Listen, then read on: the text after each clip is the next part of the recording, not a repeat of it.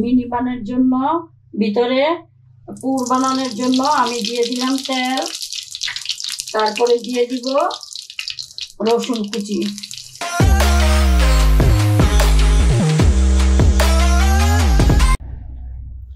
আসসালামু আলাইকুম ভিউয়ার্স, আজ আমি আরেকটি রেসিপি করে দেখাবো। বিকালের নাস্তা বা ইফতারের হিসাবে খাওয়া যাবে। বাচ্চাদের টিফিনের জন্য অনেক ভালো। এই জন্য আমি মেজারমেন্ট কাপের তিন কাপ ময়দা নিয়ে নিয়েছি। এখানে দিয়ে দিব আন্তাস মতো লবণ। দিয়ে দিব দুই চামচ গুঁড়ো দুধ। দিয়ে দিব এক চামচ চিনি। দিয়ে দিব দেড় চামচ ইস্ট। প্রতি এক কাপ মেজারমেন্ট এক কাপের জন্য হাফ চামচ করে ইস্ট ব্যবহার করতে হয়। ভালো মতো মেশাবো।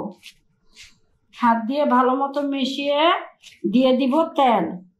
এখানে দুই টেবিল চামচ তেল নিয়েছি, আমি একটুখানি তেল রেখে দিলাম। বাকিটা ভালো মতো মিশিয়ে নেই।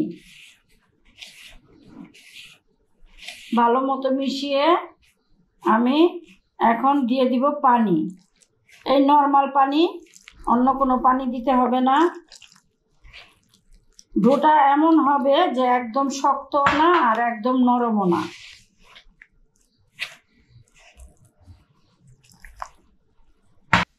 আমার ডোটা গোলানো হয়ে গিয়েছে। এখন হাত দিয়ে ঠিক এইভাবে এইভাবে এই জাল হাতে লেগেছে, এই হাতটা কিন্তু পর- পরিবর্তে ঠিক হয়ে যাবে। সমস্ত ময়দা হাতের থেকে উঠে যাবে।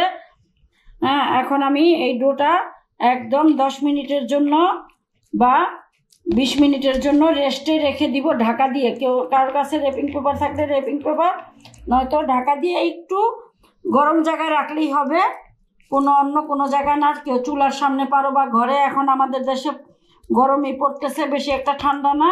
এই রেখে দিব আমি এটা প্রায় বিশ মিনিটের জন্য। এখন আমি মিনি বানের জন্য, ভিতরে পুর বানানোর জন্য আমি দিয়ে দিলাম তেল। তারপরে দিয়ে দিব রসুন কুচি। রসুন কুচি, এই ধরনের রান্নায় রসুন কুচি লাগবেই। এখন একটু হালকা রসুনের যে ফ্লেভারটা ওটা যাক, তারপরে একে একে সব কিছু দিব। হ্যাঁ আমার রসুনটা হয়ে গিয়েছে। এখন আমি এক কাপ মুরগির মাংস গোলমরিচ আর আদা, লবণ দিয়ে রেখেছিলাম। এখন আমি দিয়ে ভালো মতো নাড়া দিব। নাড়া দিয়ে মাংসটা একটু হালকা কালার হোক। তারপরে আমি অন্য উপকরণগুলো দিয়ে দিব। এখন দিয়ে দিব আমি লাল মরিচের গুঁড়ো অল্প একটু। দিয়ে দিব আমি সয়া সস। দিয়ে দিব আমি টমেটো সস। এখন আমি, আর দিয়ে দিব একটুখানি কাঁচামরিচ। এখন আমি নাড়তে থাকব সিদ্ধ হওয়া পর্যন্ত। আমার মুরগির মাংসটা রান্না হয়ে গিয়েছে। এখন আমি একে একে অন্য উপকরণগুলো দিয়ে দিব। হলো লাল ক্যাপসিকাম দুই চা চামচ, সবুজ ক্যাপসিকাম দুই চা চামচ, আর হলুদ ক্যাপসিকাম দুই চা চামচ। আর দিয়ে দিব দুই চা চামচের একটু বেশি পেঁয়াজ কুচি। এটা দিয়ে আমি বেশিক্ষণ রাখব না। আমি এই এই নাড়া দিয়েই আমি নামিয়ে ফেলব। হ্যাঁ আমার ডোটা এই যে সফট হয়ে গিয়েছে। এখন আমি ডোটা নিচে নামিয়ে একটু মুছে নিব, অল্প করে। মুছে তারপরে এভাবে গোল করব। গোল করে তারপরে কয়েকটা ভাগে ভাগ করব। এইভাবে করে কয়েকটা ভাগে সমান ভাগ করে নিব। তারপরে এই তিনটা ভাগ রেখে দিই। এই দুইটা ভাগ দিয়ে আমি একটা রুটির মতো বেলে নিব।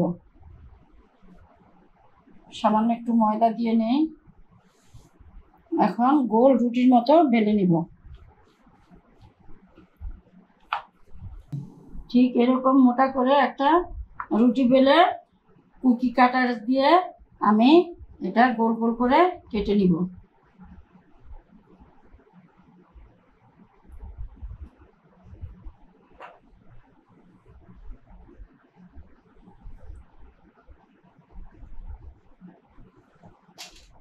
এটা রেস্টে রেখে দিব। এভাবে কেটে রেস্টে দশ মিনিটের জন্য রেখে দিব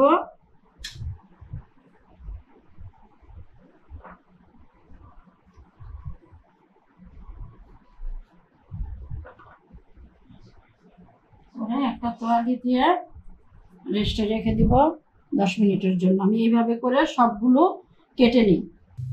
আমি বানগুলো চুলায় বানিয়ে দেখাবো। আমার এই চুলা এখন এই হাঁড়িটা আমার যথেষ্ট গরম হয়ে গিয়েছে।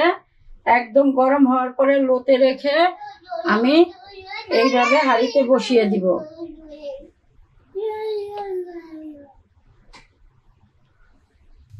আমার এই ছোট ছোট বানগুলো প্রায় নিচের সাইডটা হয়ে গিয়েছে। এখন আমি উল্টিয়ে দেই, হাতে ধরেই। এই বানগুলো ইচ্ছে করলে তোমরা ওভেনও করতে পারো, কিন্তু আমি সহজ উপায় দেখিয়ে দিলাম, সবার ঘরে ওভেন থাকে না, চাইলেই যাতে চুলায় বানাতে পারো। এখন আবার আমি উল্টিয়ে আরও দুই মিনিট রাখি, হয়ে যাবে। সবগুলা বান এইভাবে বানিয়ে আমি দেখাবো বানের ভিতরে কি করতে হবে। এ আমার বানগুলো হয়ে গিয়েছে। দেখেছ সবগুলো বান ফুলে গিয়েছে। এখন আমি নামিয়ে ফেলব। নামিয়ে তোমাদের কীভাবে বানটা তৈরি করতে হয় পুরোপুরি সম্পূর্ণ তৈরি করে তোমাদের দেখাবো। এইভাবে আমি বানের মাঝখানে কেটে নিব। এইভাবে পকেট বানিয়ে নিব কেটে। বানিয়ে এখন আমি একটা সস একত্রে কয়েকটা সস মিলিয়ে একত্রে করব। এই জন্য আমি নিব এখানে এক চামচ ওয়েস্টার সস। তারপরে নিব এক চামচ টমেটো সস। তারপরে নিব আমি মেয়নিজ মেয়নিজটা আমি নিজে হাতে বানিয়েছি।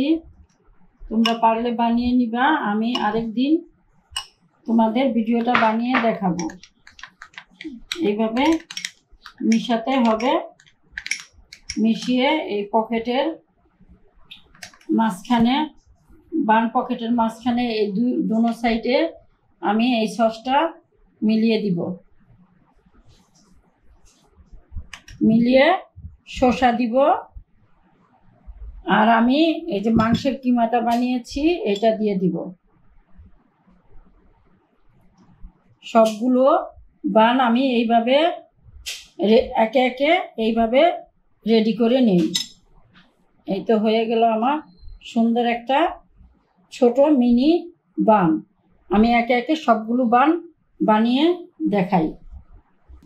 আমার মিনি বার্গার বা মিনি বানটা বানানো হয়ে গিয়েছে। এই ইফতারের সময় তোমরা ঠিক এইভাবে বানিয়ে খাবা। এটা খুব স্বাস্থ্যকর খাবার। হ্যাঁ আর খুব সহজে বানানো যায়। এইভাবে বানিয়ে খেয়ে তোমাদের ভালো লাগলে আমাকে লাইকস কমেন্টস এবং সাবস্ক্রাইব করে দিও।